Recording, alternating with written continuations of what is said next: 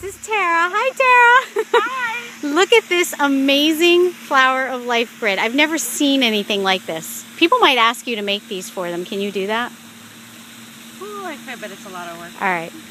All right, so what did you do? This is this is absolutely amazing. I've never seen anything like this. I picked out all my colors. I took the pattern first and I blew it up on the copier.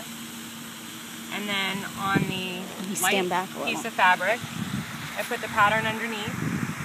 And then I did like a, used a piece of soap or a pencil and outlined it.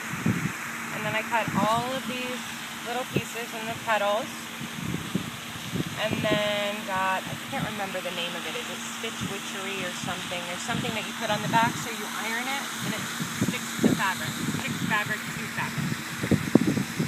So I ironed it on both sides and then I got the webbing and ironed all that on everything is ironed on and it's going to heat up a little bit because I've been using it for my grid.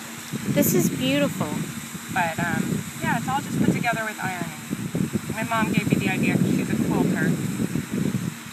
But I don't. That must have taken a lot of time. It took me probably, I had it done in about two and a half days, but it probably took me about 12 hours total.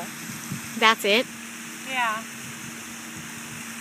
That seems like it would take a really long time. Is this really hard to get in place, like to no. go perfectly? It's, it's one long strip, and I just put it down and would iron as I went around.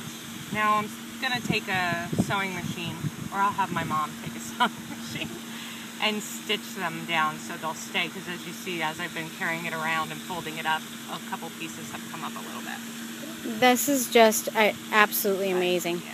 And what about the colors? What made you choose the colors that you did? Anything particular, or you I just liked? like the vibrant,